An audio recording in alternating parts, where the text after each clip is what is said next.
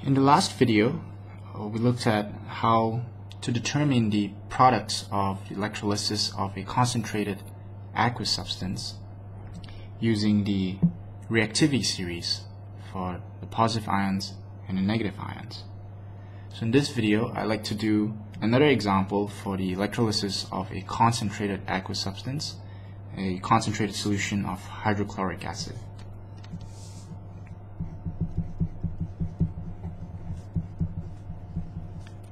Electrolysis, so this is concentrated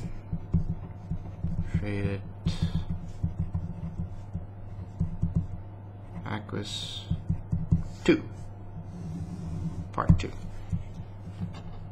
okay so what am I trying to electrolyze here?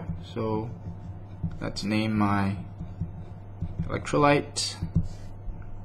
Is hydrochloric acid hydrogen chloride aqueous concentrated. So, so once again I start with my container.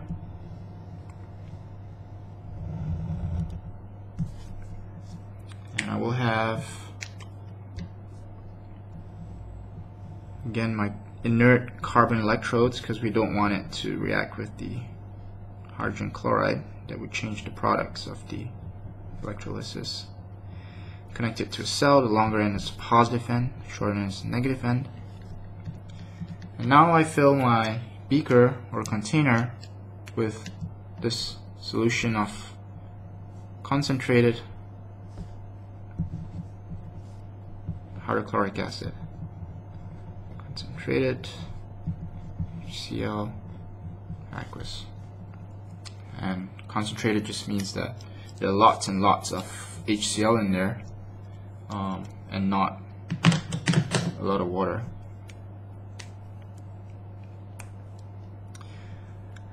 So this HCl will break up into hydrogen ions and chlorine ions. As we learned earlier, water is also slightly dissociative.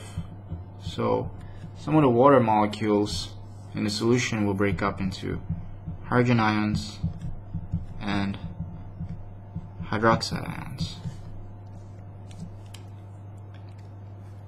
So the negative ions will be attracted to the anode. So I'll write them below the anode. Chlorine and hydroxide. Let's just name this the anode. and this is the cathode the positive electrode. And now I have hydrogen ions from hydrochloric acid and hydrogen ions from water. So since both of these are the same I'm just gonna write them once. So below the cathode, we only have hydrogen ions. So in this case, the reaction at cathode is simplified because we don't have to choose between two ions like we had in the case with the electrolysis of sodium chloride. So immediately we see that hydrogen will be discharged at the cathode, so I'll circle hydrogen to signify that it is the species that will be discharged. And to determine which of these will be discharged, because remember only one of these species can be discharged. That's the rules of the game. We can't have both of them giving up electrons and being discharged at the anode. We'll take a look again um, at the reactivity series to remind ourselves which one will be discharged. So recall that um, the less reactive one is more likely to be discharged because in this case hydroxide ions are more reactive so they're more likely to want to hang on to their electrons and not give it up so chlorine is going to be the one who has to give up its electrons because it is less reactive so I will circle chlorine to signify that it is the species that will be discharged at the anode. And so the next thing I will do is write half equations for both the cathode and the anode. So at the cathode, I see that the hydrogen ions are discharged, so the cell supplies electrons. Hydrogen will receive these electrons to form hydrogen gas, which is diatomic. So I need two hydrogen ions and two electrons to give me the diatomic hydrogen gas. At the anode, chlorine is discharged. So chlorine will have to give up its electrons because hydroxide doesn't want to. And it will form chlorine gas, which is again diatomic, so I need two of these, and that will give me two electrons given up, and these electrons will travel back to the cell. So those are my two half equations, and once again I can combine these two half equations to give me the overall uh, equation for this reaction. So I will have, let's just write it down here. Cl2 gas plus two electrons. And at the cathode, the two hydrogen atoms receive two electrons and form hydrogen gas. So since I have two electrons on the left side, two electrons on the right side, I can cancel them and so my overall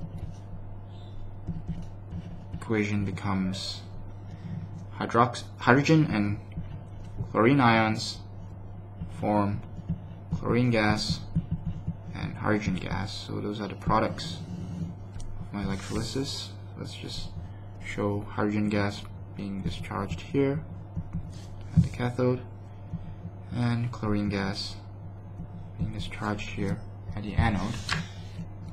And so in this case, the spectator ion, the ion that didn't actually take part in any reaction, so it's just sitting there watching the game going on without taking part in it. So we have the spectator ion, hydroxide ion. Now of course not all of this hydrogen and chlorine ions will be used up, so so we still have those in there, but we'll have, as the reaction proceeds, the concentration of hydroxide ions will increase. And when it does, what that does to the solution is that it will make the solution increasingly alkalic. So if you've talked about acid base, you see that um, solution increases in alkalinity and hence its pH decreases.